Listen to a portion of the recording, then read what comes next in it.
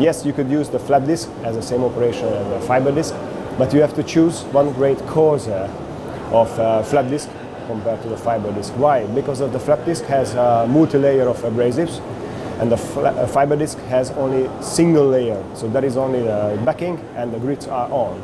So thanks for the backup pad and it's uh, providing uh, quite um, high material removal but compare with the flap disk, the fiber disk has a shorter service life. So normally the operators are using a hard backup pad on, at grit 36 or grit 40. So if they want to chamfering or um, beveling, or they can choose the um, soft backup pad or a softer backup pad if they want to use for finishing, like with P80 or P120.